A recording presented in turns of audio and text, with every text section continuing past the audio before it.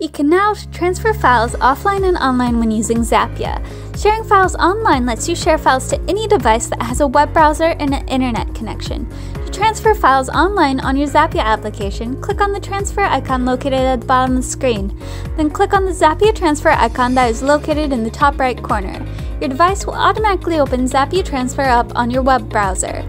Click on the Upload button and select the files you wish to share. Once you have selected the files, click Start to begin the upload. Your files will be uploaded to our cloud and they will stay there for 7 days. When the upload is complete, you are given a 6-digit code and a personalized link. Anyone that receives this code or link from you can download the files you uploaded. They do not need to have the Zapya application downloaded on their device to do so. All they need to do is go to the Zapya Transfer website, click the Receive button, enter the 6-digit code, and click Confirm to access the files. When they click on the download icon, the files will automatically be downloaded to their device.